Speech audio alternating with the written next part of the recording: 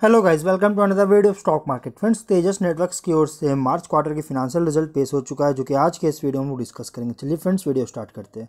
यहाँ पे guys stand और कॉन्सॉलिडेटेड दोनों की unaudited sorry audited result out हो चुके हैं। तो चलिए हम लोग यहाँ पे गाइस इसके साथ कंपनी क्या यहाँ पे देखेगा तो बहुत सारी चीज़ मैनेजमेंट में चेंजेस आए हैं यहाँ पे देख सकते हैं। Mister M Anand S Athreya को as additional director executive director जो कि मैनेजिंग डायरेक्टर और सीईओ डेजिग्नेट होगा, और as a managing director and CEO मतलब कि अपॉइंट किया गया इनको। मतलब कि अब ये जो है सो एमडी और सीईओ रहेंगे, इस कंपनी तेजस नेटवर्क्स के।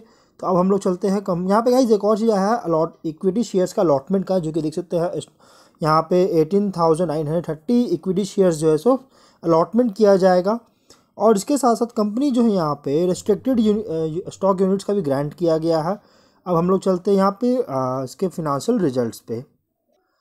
तो आ चुके हैं स्टैंड ऑन रिज़ल्ट जो कि करोड़ में नंबर्स दिए गए। इनकम की बात करें थ्री हंड्रेड फाइव करोड़ का, जबकि पिछले क्वार्टर में three two hundred seventy three crore था और मार्च ट्वेंटी टू क्वार्टर में one hundred thirty nine crore का इनकम था। Income quarter on quarter year on year दोनों में चेंजेस ये तेज़ी देखने को मिल रहा है। अगर हम एक्सपेंस की बात करें तो थ्री हंड्रेड इलेवन करोड़ का है, जबकि पिछले क्वार्टर में two hundred sixty one crore था और मार्च ट्वेंटी टू क्वार्टर में two hundred thirty six crore का एक्सपेंस हुआ था।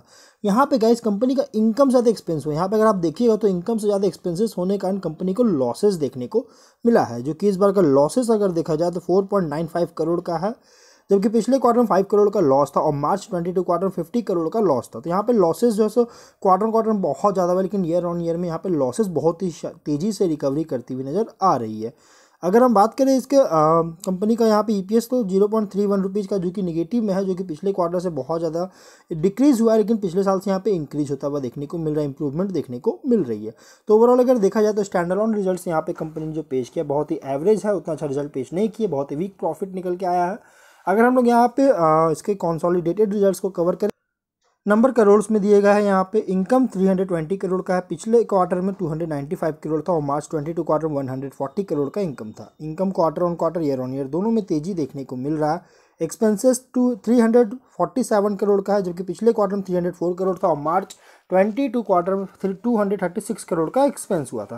तो यहाँ पे गैस कंपनी का कॉन्सॉलिडेटेड में भी इनकम से ज़्यादा एक्सपेंसेस हुआ, जिसके कारण कंपनी को लॉसेस देखने को मिला है। और यहाँ पे अगर लॉसेस देखिएगा तो eleven point four seven crore का है, जबकि पिछले क्वार्टर में फिफ्टीन करोड़ का लॉस था और मार्च ट्वेंटी टू क्वार्टर में फोर्टी नाइन करोड़ का लॉसेज था। तो यहाँ पे लॉसेज जो है, अगर देखा जाए तो लॉसेज जो है, ये रिकवर हुआ। एक अच्छी बात है कि कंपनी का लॉसेज रिकवर किया है, चाहे वो क्वार्टर ऑन क्वार्टर हो या फिर ईयर ऑन ईयर यहाँ पे लॉस जो है बहुत ही तेज़ी से रिकवर करती हुई नज़र आई। तो ओवरऑल अगर देखा जाए तो कंपनी का यहाँ पे लॉस मेकिंग तो है, लेकिन कंपनी कॉन्सॉलिडेटेड में लॉस रिकवर करता हुआ देखने को मिला है। तो ओवरऑल कंपनी का एवरेज रिज़ल्ट देखने को मिला है, उतना बेटर नहीं हुआ, लेकिन एवरेज कह सकते रिज़ल्ट देखने को मिला है। तो अब हम लोग जो है वीडियो को यहीं पर एंड करते हैं। अगर कोई डाउट हो कमेंट बॉक्स में पूछे, मिलते हैं नेक्स्ट वीडियो में। Till then bye bye